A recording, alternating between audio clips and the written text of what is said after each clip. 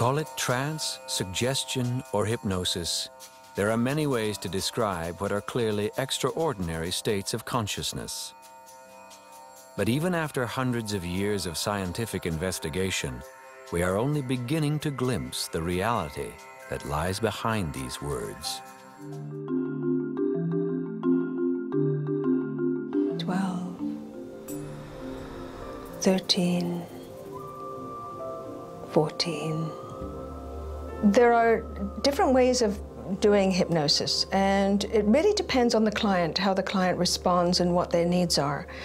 There's something called direct suggestion, which is like affirmations, uh, where you repeat them frequently, the same sort of phrase according to whatever the client needs. Uh, there's also regression therapy, so you go back to the cause or the initial sensitizing event to find out what caused that event. Or we might use some systematic desensitization in hypnosis, which lets them walk through it step by step while they're in hypnosis to feel the feeling. And of course, the more you do that, the more the feeling dissipates. And by the end of the session, you find you're not fearful anymore. Now, occasionally it takes two sessions, or well, we've never had three here, but most of the time, a fear can be cleared in one session. Many people would say that it's not necessarily the choice of the therapy, but rather the choice of the therapist that is crucial.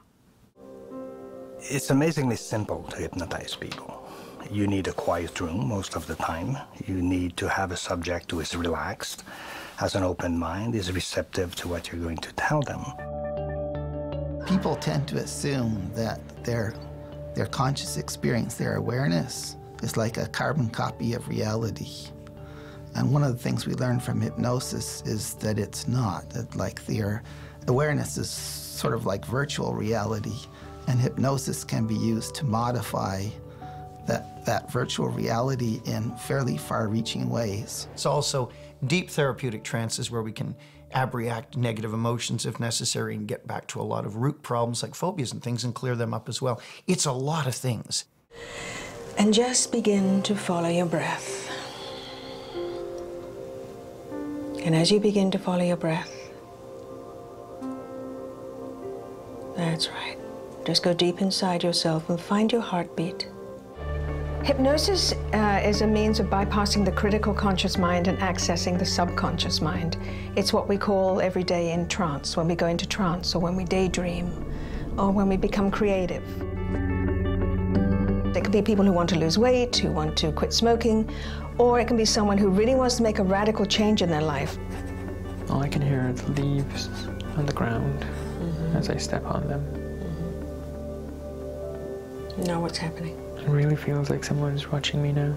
Yeah. While the level of awareness of your surroundings may shift to some degree, you'll still always be aware of your surroundings and the hypnotist giving you the suggestions.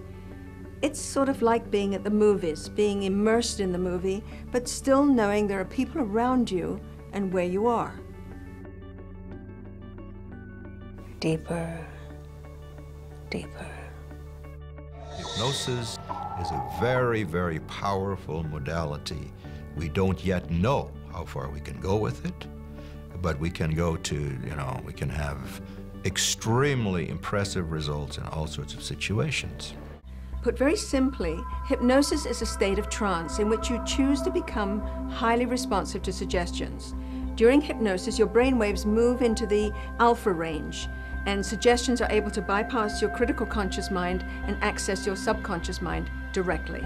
Why is that important? Well, because your subconscious mind contains all of your emotions, all of your habits, your patterns, both good and bad.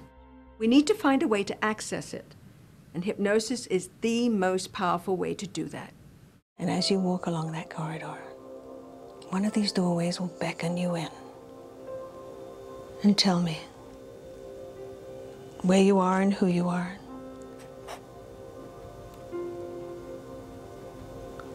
Are you inside or outside?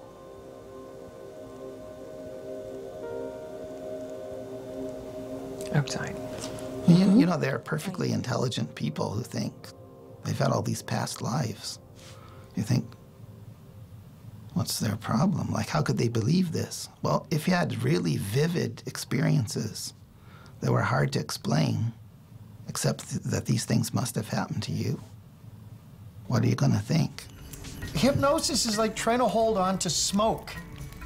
The more closely you look at it, the more abstract and strange it becomes, and the harder it is to get your hands around it. Do I believe in past lives? Um, yes ish. And I say yes ish because there is no ultimate proof, although some past lives have been proven. Um, and I really don't care. Uh, it doesn't sound too good coming from a past life practitioner, I know, but I don't care if it really is a past life or if it's a metaphor that the mind is making up. But I do know it heals, and I do know it makes changes in people's lives. It's your mind and your goal. And once you've achieved it, you'll have something that no one will be able to take away from you.